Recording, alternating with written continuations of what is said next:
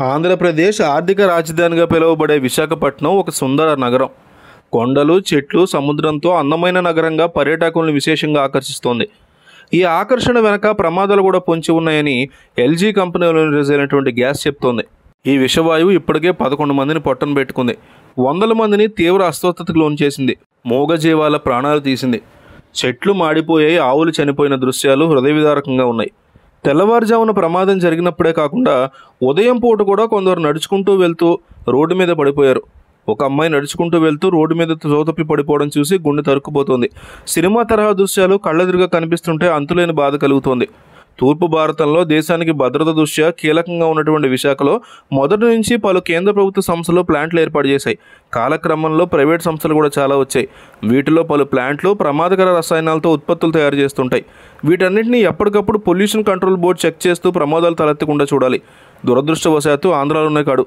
మన దేశంలో ఎక్కడా కూడా కాలుష్య నియంత్రణ మండళ్ళు సరిగ్గా పనిచేయట్లేదనే ఆరోపణలు ఉన్నాయి ఇక్కడ ప్రజల ప్రాణాలతో చెలగాటం ఆడుతున్నారనే ఆరోపణ ఉంది. భోపాల్ గ్యాస్ దుర్ఘటన నుంచి ఇండియా పాఠాలు నేర్చుకోవాల్సి ఉంది మల్టీనేషనల్ కంపెనీలైనా లోకల్ కంపెనీలైనా సరే ప్రభుత్వ అధికారులకు లంచాలు ఇస్తే ఎలాంటి అనుమతులు కావాలన్నా ఇచ్చేస్తారనే అభిప్రాయం పరిశ్రమ వర్గాల్లో నెలకొంది. ఎనభై నాలుగులో భోపాల్లో కార్బోయిన్ ఇండియా అనేటువంటి కంపెనీ నుంచి మిథైల్ ఐసోలేటెడ్ విడుదలైనప్పుడు దాదాపు నాలుగు వేల మంది చనిపోయారు. ఈ కేసు మీద సంవత్సరాల తరబడి విచారణ సాగింది. రెండు వేల పదిలో జడ్జిమెంట్ వచ్చింది. అప్పటికి విషవాయువుని పీల్చి దీర్ఘకాలిక వ్యాధులతో బాధపడి మొత్తం పదిహేను వేల మంది చనిపోయారు. ఇప్పుడు విశాఖ ప్రమాదంలో స్టైరైన్ని పీల్చిన వారు దీర్ఘకాలంలో ఎలాంటి సమస్యలు ఎదుర్కొంటారనే ప్రశ్నలు వస్తున్నాయి. ఇంత దుర్మార్గం జరగడానికి కారణమైన కంపెనీ మీద ఆంధ్రప్రదేశ్ ప్రభుత్వం కఠినంగా వ్యవహరించలేదనేటువంటి భావన ప్రజల్లో ఉంది. ఈ ప్రమాదం ఎలా జరిగిందో అధ్యయనం చేసి భవిష్యత్తులో ఇలాంటివి జరగకుండా ఉండాలంటే ఏం చేయాలో రికమెండ్ చేయడానికి కమిటీ వేస్తానని సీఎం జగన్ చెప్పారు. దానికంటే ముందు ప్రమాదానికి కారణంలో తేల్చాల్సి ఉంది.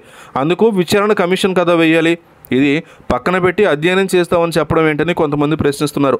చంద్రబాబు హయాంలో గనక ఈ కంపెనీకి సంబంధించి ఎల్జీ పాలిమర్స్ కంపెనీ విస్తరణ కోసం ప్రభుత్వానికి విజ్ఞాపన పత్రం సమర్పించినట్టు తెలుస్తోంది. కానీ అప్పటికే కంపెనీలో చిన్న ప్రమాదం జరిగి ఉండడం వల్ల విస్తరణకి అనుమతి ఇవ్వలేదు.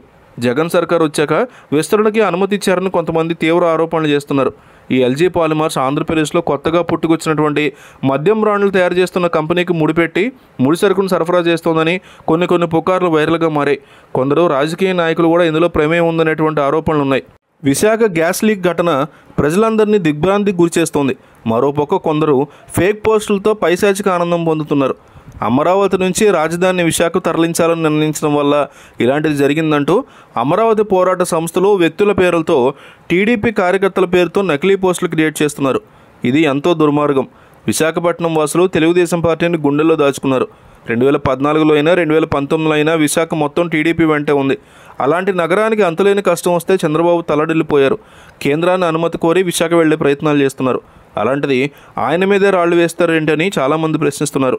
దేవుడు ఉన్నాడురా మా అమరావతి ప్రజల ఏడుపు తగిలే వైజాగ్ వాళ్ళకి ఇలా జరుగుతుంది ఇంకా జరగాలి ఇంకా ఇంకా జరగాలి రాజధానిగా అమరావతి ఉంచే వరకు ఇలాంటివి జరుగుతూనే ఉండాలని సోషల్ మీడియాలో ఒక పోస్ట్ వైరల్ అయింది.